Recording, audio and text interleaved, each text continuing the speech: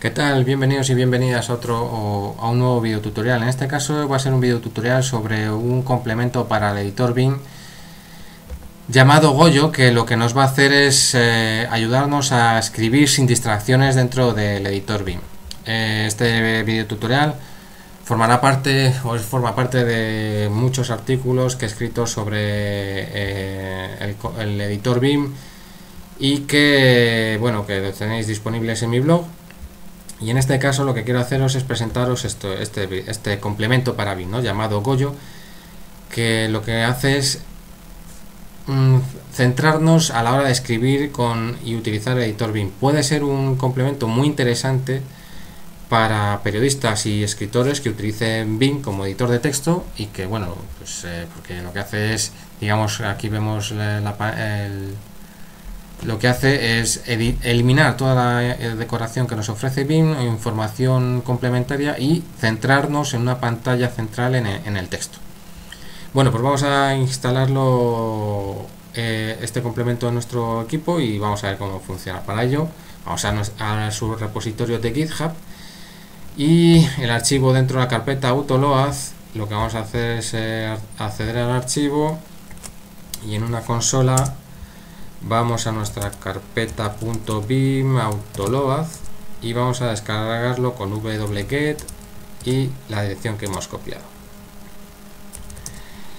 Ahora eh, tenemos que copiar, además del autoload, tenemos que copiar la carpeta, perdón, el, archivo dentro de la carpeta eh, plugin, también llamado, que se llama goyo.bin. Pues para ello le copiamos, accedemos al RAW, al, RAW y copiamos la dirección y en cd plugin le descargamos con wget, por ejemplo, y ya lo tenemos.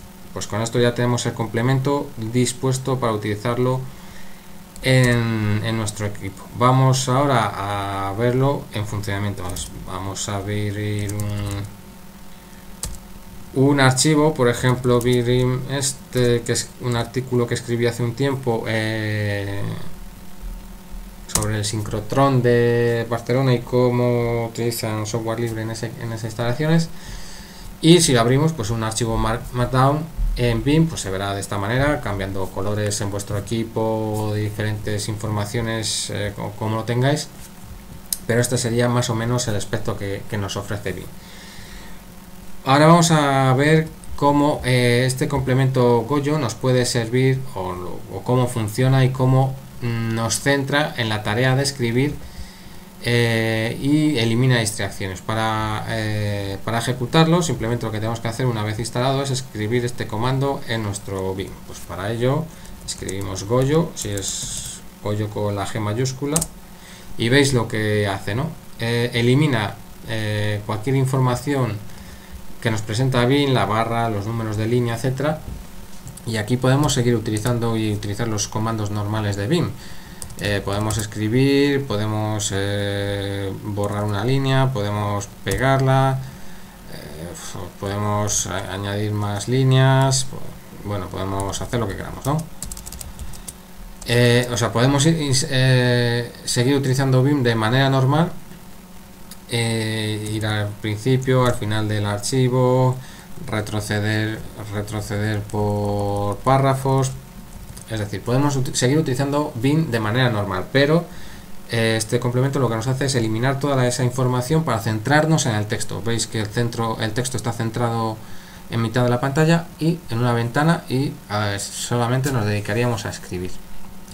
El tamaño de esta pantalla se puede modificar, eh, vamos a ponerlo por aquí, mediante la combinación de teclas control más W y las siguientes teclas, el mayor que, el menor que, el más y el menos. Eh, con el mayor que y el menor que lo que nos hace es modificar el ancho de la pantalla y con el más y el menos la altura. Vamos a verlo en funcionamiento con control W, vamos a hacer el modo control W mayor que, veis que nos está aumentando el ancho. Control W mayor que y control W menos lo que nos hace es hacer más pequeño la altura. Con control W y el igual lo que nos hace es volver a poner los valores iniciales de la pantalla como estaban. Nos dejaría pues como está eh, para salir del modo de este complemento con dos puntos Q saldríamos de ese complemento, no saldríamos del archivo y si queremos salir del archivo pues control Q, ya eso ya como que nosotros queramos eh, este complemento lo veo muy interesante a la hora de editar texto en BIM más que de editar código. A la hora de editar código igual nos puede mm, eh, ser un poco, digamos, más, más contraproducente, pero a la hora de editar texto yo creo que es una buena opción, pues eso, para periodistas o escritores o si que utilizamos el BIM para editar texto, es una buena opción. Y nada más, esto es todo, espero que os haya gustado, es un, un complemento que puede resultar interesante podéis utilizarlo en vuestro equipo y ya me diréis si funciona. Eh, nos vemos en el siguiente video tutorial. Hasta entonces, adiós.